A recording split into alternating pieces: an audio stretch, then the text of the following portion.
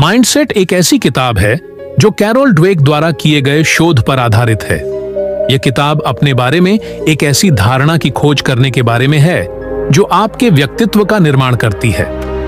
इस किताब में आठ अध्याय हैं, जो आपको माइंडसेट के बारे में सब कुछ समझने में मदद करती है। चाहे आप स्टूडेंट हो माता पिता हो, बिजनेसमैन हो या एम्प्लॉई हो, यह पुस्तक आपके माइंडसेट को पूरी तरह से चेंज कर देगी। तो आइए शुरुआत करते हैं इस शानदार बुक की। लेकिन उससे पहले, आप लोगों ने अगर अभी तक हमारे चैनल ऑडियो बुक की गंगा को सब्सक्राइब नहीं किया है तो सब्सक्राइब कर लें। क्योंकि इस चैनल पर आपको ऐसी शानदार बेहतरीन वीडियो मिलती रहती है। एक लाइक के साथ शुरू करते हैं वीडियो को। मानसिकता, लेखक ने बच्चों के साथ किए गए एक अध्ययन के बारे में बात की। जिसमें उन्होंने यह समझने की कोशिश की कि लोग असफलता से कैसे निपटते हैं। बच्चों को पहेलियाँ दी गईं, जो धीरे धीरे कठिन होती गईं। कठिनाई के स्तर बढ़ने के साथ कुछ बच्चों ने हार मान ली, जबकि कुछ ने चुनौतीपूर्ण समस्याओं को हल करने के विचार का आनंद लिया। लोगों के विचार, कार्य और चुनौतियों के प्रति प्रतिक्रिया अलग अलग होती है। विशेषज्ञों का मानना है कि यह शारीरिक पहलुओं उम्र या मनोवैज्ञानिक कारकों जैसे अनुभव, सीखने के तरीके या लोगों की पृष्ठभूमि के कारण होता है। हालाँकि, आज अधिकांश विशेषज्ञ इस बात पर सहमत हैं कि यह दोनों का एक संयोजन है। लेखक के शोध से पता चलता है कि आप अपने लिए जो दृष्टिकोण अपनाते हैं, वह आपके जीवन जीने के तरीके को गहराई से प्रभावित करता है। विश्वास प्रणाली दो प्रकार की होती है। पहला, स्थिर मानसिकता, जहाँ व्यक्ति को लगता है कि उसके गुण पत्थर पर उकेरे गए हैं, जिससे व्यक्ति को अपनी योग्यता साबित करने की निरंतर आवश्यकता होती है। ऐसे व्यक्ति के लिए असफलता उसकी कमियों को उजागर करती है और इसीलिए प्रयास तभी मायने रखता है जब सफलता की 100 प्रतिशत संभावना हो। दूसरा, विकास की मानसिकता। जहाँ व्यक्ति का मानना है कि उसके गुणों को प्रयासों के माध्यम से विकसित किया जा सकता है और वह गलतियाँ करके और सीख कर बदल सकता है और आगे बढ़ सकता है। असफलता को सुधार के लिए एक कदम के रूप में देखा जाता है। मोहम्मद अली के पास मुक्केबाज जैसी शारीरिक बनावट या ताकत नहीं थी। एक मुकाबले में मोहम्मद अली को सन्नी लिस्टन से भिड़ना था, जो अपने आकार, ताकत और शक्ति के मामले में स्वाभाविक था। लेकिन अली तेज था और उसकी प्रतिभा उसके दिमाग में थी। अली ने बताया कि कैसे उसने लिस्टन की लड़ाई, शैली का अध्ययन किया और रिंग के बाहर लिस्टन किस तरह का व्यक्ति था। अली के शब्दों में लिस्टन को यह मानना पड़ा कि मैं पागल था। वह मेरे मुँह के अलावा कुछ भी नहीं देख सकता था और मैं चाहता था कि वह सिर्फ़ यही देखे। लिस्टन अली से मुकाबला हार गया। खेल की दुनिया में अभ्यास और सुधार के बीच एक मज़बूत संबंध है। फिर भी लोकप्रिय धारणा यह है कि खेलों में सफलता के लिए प्राकृतिक प्रतिभा ही सब कुछ है। विंबलडन 2000 में पीट सैम्प्रास का सामना पैट राफ्टर से फाइनल में हुआ। यहाँ जीत से उन्हें अपना रिकॉर्ड तेरहवा ग्रैंड स्लैम जीतने का मौका मिलेगा। सैम्प्रास एक सेट से पीछे थे और दूसरे सेट के टाई ब्रेकर में चार से एक से पीछे थे। उन्होंने अपना तेरहवा खिताब जीता। बाद में सैम्प्रास को उद्धृत किया गया जब आप बदलाव पर बैठे होते हैं तो आप पिछले मैचों के बारे में सोचते हैं कि आप पहला सेट हार गए थे, वापस आए और अगले तीन जीते। आप अपने पिछले अनुभवों पर विचार करते हैं, इससे बाहर निकलने में सक्षम होते हैं। सैम्प्रास ने जो दिखाया, वह एक विकास मानसिकता थी, जहाँ उन्होंने वह एक ऐसे संदर्भ की तलाश में था, जो उसे आगे ले जा सके। जॉन मैकेनरो, एक प्रतिभाशाली टेनिस खिलाड़ी थे जो चार साल तक नंबर एक खिलाड़ी रहे। लेकिन वे हार गए, मैच हार गए, क्योंकि उन्हें बुखार था। उन्होंने मैच के बहुत करीब खाना खाया या उन्हें बहुत ठंड लग रही थी। मैकेनरो उन्नीस के फ्रेंच ओपन फाइनल में दो से आगे होने के बाद इवान लैंडी से हार गए, क्योंकि एनबीसी का एक कैमरामैन भाग गया था, हेडसेट बंद किया और कोर्ट के एक तरफ़ से आवाज़ आने लगी। निश्चित मानसिकता के भीतर महान प्रतिभा का निर्माण हुआ। विकास की मानसिकता वाले खिलाड़ी अपना सर्वश्रेष्ठ प्रदर्शन करने में सफलता पाते हैं और असफलताओं को चेतावनी के रूप में देखते हैं। निश्चित मानसिकता में बाधाएँ आपको असफलता का लेबल देती हैं। विकास मानसिकता में खिलाड़ी उन प्रक्रियाओं की पहचान करते हैं जो सफलता की ओर ले जाएँ, प्रशिक्षण और संदेह के क्षणों में उन पर नज़र डालें। विकास की मानसिकता चरित्र का निर्माण करती है और एक चैंपियन का दिमाग, जो खेल में सफलता को परिभाषित करता है। व्यवसाय, मानसिकता और नेतृत्व। लेखक ने लू गेर्स्टनर, जैक वेल्च और एनी मुल्काही को विकास की मानसिकता वाले व्यावसायिक नेताओं के उदाहरण के रूप में प्रस्तुत किया है। इसके विपरीत, लाइकोका, अल्बर्ट डनलप, केनेथ ले और जेफ स्किलिंग प्रतिभाशाली लेकिन निश्चित मानसिकता वाले व्यवसायिक नेताओं के रूप में हैं। विकास की सोच रखने वाले नेता अपनी कंपनियों को अपनी जागीर के रूप में नहीं, बल्कि अपनी टीमों, अपनी कंपनी और खुद के लिए विकास इंजन के रूप में देखते हैं। 1980 के दशक के आखिर में आईबीएम इतना सफल हो गया था कि अभिजात्यवाद इसकी संस्कृति में घुस गया था। वर्चस्व दिखाने का तरीका था आपसी लड़ाई।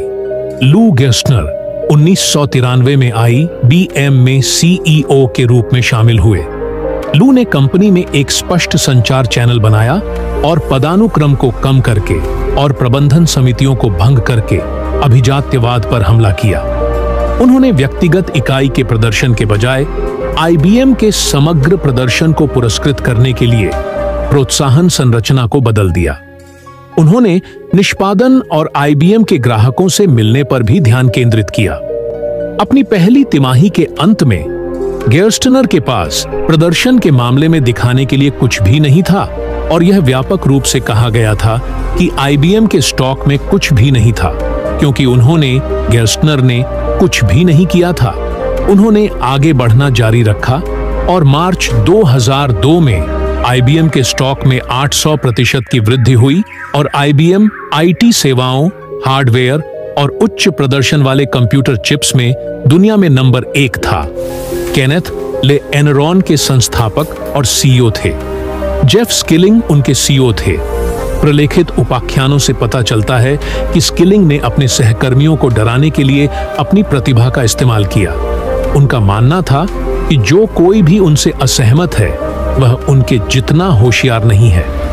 स्किलिंग का यह विश्वास कि उनके शानदार विचार जो मुनाफे की ओर ले जा सकते हैं, उन्हें एनरॉन द्वारा वास्तविक मुनाफे के रूप में घोषित किया जाना चाहिए, ने बड़े पैमाने पर वित्तीय रिपोर्टिंग में धांधली को जन्म दिया। एनरॉन अंततः डूब गया। ग्रुप थिंक संगठनों के भीतर एक निश्चित मानसिकता का ढांचा है। ग्रुप थिंक सत्ताईसवीं सदी के दशक में इरविंग जेनिस द्वारा गढ़ा गया। तब होता है जब समूह में हर कोई एक जैसा सोचना शुरू कर देता है और कोई भी असहमत नहीं होता है। ऐसा तब होता है जब या तो समूह अपने नेता की क्षमता में बिना शर्त विश्वास रखता है, या जब पूरा समूह खुद मानता है कि वह प्रतिभाशाली है और इसलिए श्रेष्ठ है। रिश्ते, प्यार में मानसिकता, लगभग हर कोई प्यार में पड़ा है और चोटिल हुआ है। विकास मानसिकता वाले लोगों के लिए यह माफ़ करने और बहुत चोटिल होने के बावजूद आगे बढ़ने के बारे में है। स्थिर मानसिकता वाले लोगों के लिए यह न्याय किए जाने और अस्वीकार किए जाने और इसीलिए बदला लेने की तीव्र इच्छा के बारे में है। पिछले अध्यायों में जॉन मैकेनरो या ईश्वर प्रदत्त खिलाड़ियों की जन्मजात प्रतिभा के बारे में बात की गई थी, रचनात्मक कलाओं में कुछ लोगों की क्षमता। क्या रिश्तों की दुनिया में ऐसे कोई प्रतिभाशाली लोग हैं? खेल या व्यवसाय के विपरीत, जहाँ सफलता का स्पष्ट माप होता है, रिश्तों में ऐसा कोई माप नहीं होता। हालाँकि, रिश्तों में अविश्वसनीय रूप से अच्छे लोग, चाहे जन्मजात हों या प्रयासों से विकसित हों, वे लोग हैं जिन्हें आप कूल या आकर्षक के रूप में देखते हैं। अब तक पुस्तक में मानसिकता संदर्भ का एक व्यक्तिगत ढांचा था। रिश्तों की दुनिया में तीन फ्रेम हैं। आप, आपका साथी और खुद रिश्ता। इन तीनों फ्रेम में से प्रत्येक में निश्चित और विकास मानसिकता के रूप हो सकते हैं। विकास मानसिकता में विश्वास यह है कि सभी तीन फ्रेम विकसित और विकसित किए जा सकते हैं, जो लगातार स्थायी और पूर्ण संबंधों की ओर ले जाते हैं। निश्चित मानसिकता के मामले में रिश्ते निम्नलिखित पर आधारित होते हैं। संबंध निश्चित होते हैं, रिश्ते में समस्याएँ किसी एक साथी के चरित्र दोष के कारण होती हैं। अपनी योग्यता साबित करने की आवश्यकता रिश्ते का हिस्सा है और इसलिए एक दूसरे से बेहतर होने की प्रतिस्पर्धा होती है। माता पिता शिक्षक और कोच। कोई भी माता पिता अपने बच्चे को जानबूझकर कमतर आंकने का फैसला करके दिन की शुरुआत नहीं करता। लेकिन माता पिता द्वारा भेजे गए कुछ संदेश बच्चे को एक निश्चित मानसिकता संदेश के रूप में मिलते हैं। माता पिता सफलता और असफलता दोनों संदेश भेजते हैं। तुम बहुत होशियार हो। जैसे सफलता, संदेश अच्छे से ज़्यादा नुकसान करते हैं। वे बच्चे की प्रेरणा मैं सबसे अच्छा हूँ और प्रदर्शन, ये मुश्किल लगता है। मैं असफल हो सकता हूँ और मैं असफल नहीं होना चाहता, को नुकसान पहुंचाते हैं। सफलता के संदेशों में प्रतिभा की नहीं, बल्कि प्रयास की प्रशंसा होनी चाहिए। असफलता के संदेश जैसे तो क्या हुआ अगर तुम असफल हो गए, तुम सर्वश्रेष्ठ हो? बच्चे को असफलता से बचाते हैं और एक निश्चित मानसिकता बनाते हैं कि सुधार की कोई आवश्यकता नहीं है। इसके बजाय, असफलता का संदेश रचनात्मक, आलोचना होना चाहिए। विकास की मानसिकता वाले माता पिता अपने बच्चों को केवल सकारात्मक संदेशों से लाड़ प्यार नहीं करते। इसके बजाय, वे उच्च मानकों में विश्वास करते हैं और बच्चों को उन तक पहुँचने के लिए रोडमैप बनाने में भी मदद करते हैं। शिक्षकों की भूमिका माता पिता के समान ही होती है। अंतर यह है कि वे एक समय में 10 से 20 बच्चों का प्रबंधन करते हैं। महान शिक्षक अपने छात्रों पर विश्वास करते हैं और सीखने की प्रक्रिया में उनकी मदद करते हैं। एक विकास मानसिकता वाला शिक्षक कहता है, मैं तुम्हें सिखाने जा रहा हूँ। जबकि एक निश्चित मानसिकता वाला शिक्षक कहता है, मैं तुम्हें सिखाने जा रहा हूँ। अपनी प्रतिभा का मूल्यांकन करें। विकास मानसिकता वाले शिक्षक अपने छात्रों के सामने आईना दिखाते हैं ताकि सीखने के अंतराल की पहचान की जा सके और उन्हें उन अंतरों को पाटने में मदद करें। इसी तरह निश्चित मानसिकता वाले कोच मानते हैं कि वे अपनी टीम के जितने ही अच्छे हैं, जीत का रिकॉर्ड। उनका पवित्र प्याला एक गलती मुक्त खेल है। लेखक बॉबी नाइट। जो डर के मारे कोचिंग करते थे और एक टीम के सदस्य को दूसरे के खिलाफ खड़ा करते थे। और जॉन वुडन, जिन्होंने यूसीएलआई बास्केटबॉल को 10 एनसीए चैंपियनशिप में जीत दिलाई, के उदाहरणों का उपयोग करते हुए निश्चित और विकास मानसिकता वाले कोचों की तुलना करते हैं। वुडन ने विकास मानसिकता को लागू किया। उनके शब्दों में, आपको हर दिन थोड़ा बेहतर बनने के लिए खुद को लगाना होगा। समय की अवधि में हर दिन थोड़ा बेहतर बनने के कार्य में खुद को लगाने से आप बहुत बेहतर बनेंगे। उन्होंने गलती रहित खेलों के लिए नहीं कहा, बल्कि पूर्ण प्रतिबद्धता वाले खेलों के लिए कहा। बदलती मानसिकता, विकास की मानसिकता मूलतः परिवर्तन में विश्वास करने के बारे में है। अवचेतन स्तर पर लोग अपने जीवन में क्या चल रहा है और उन्हें क्या करना चाहिए, इसका एक चलता फिरता हिसाब रखते हैं। मानसिकता इस चलते फिरते हिसाब को नियंत्रित करने में मदद करती है। स्थिर मानसिकता के मामले में ये सुरक्षा रेखाएँ नकारात्मक होती हैं। मैं असफल हूँ या मैं सर्वश्रेष्ठ हूँ? विकास में मानसिकता, यह रेलिंग या आंतरिक एकालाप, इस बारे में है कि मैं यहाँ से कैसे सुधार कर सकता हूँ या मैं क्या सीख सकता हूँ इससे? निश्चित मानसिकता से विकास की मानसिकता में परिवर्तन के लिए इस आंतरिक एकालाप को बदलने की आवश्यकता है। चर्चा को विकास उन्मुख मानना। आप भले ही कुछ भी काम क्यों ना कर लें, या आप कहीं पर भी रहे, आप उस वातावरण में घुल मिल नहीं सकते, जब तक आपका माइंडसेट नहीं होगा। माइंडसेट हर जगह वर्क करता है, चाहे वह किसी भी फ़ील्ड में हो। अगर आप किसी भी फ़ील्ड का बाप बनना चाहते हैं तो माइंडसेट एक ऐसी कुंजी है, जो ना केवल सफलता की कुंजी खोलती है बल्कि सही दिशा प्रदान भी प्रदान करती है, जिसमें आगे चलकर आपको पैसा, दौलत, शोहरत, मान सम्मान मिलता है। तो दोस्तों, सफलता डिपेंड करती हमारी मानसिकता के ऊपर। तो यह थी आज की बुक समरी माइंडसेट बुक के ऊपर। मिलते हैं आपसे ऐसी शानदार बुक समरी के साथ। तब तक के लिए आप चैनल को सब्सक्राइब करें, वीडियो को लाइक करें, ताकि आने वाली वीडियो की नोटिफिकेशन आपको समय पर मिल जाए।